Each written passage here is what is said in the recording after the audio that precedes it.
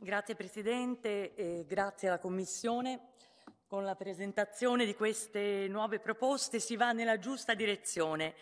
Più solidarietà tra gli Stati membri sulla cibersicurezza e impegno comune sulle nuove competenze necessarie a garantirla.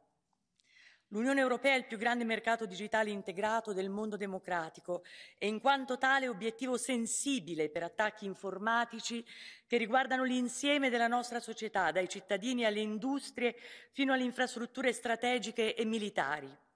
Un fenomeno in sensibile aumento che con la guerra in Ucraina assume la dimensione di una vera e propria guerra ibrida.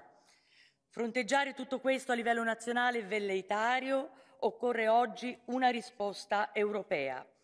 È già a buon punto il lavoro di prevenzione con l'approvazione della direttiva NIS 2 sulla sicurezza delle reti e la discussione in corso sul regolamento per la cibersicurezza dei prodotti con elementi digitali di cui sono relatrice per il gruppo dei socialisti e democratici.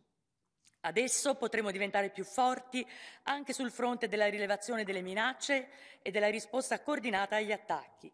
Cari colleghi, si tratta di una responsabilità condivisa in questo nuovo mondo digitale dove la sicurezza di ognuno è la sicurezza di tutti. Grazie. Dankeschön. Jetzt.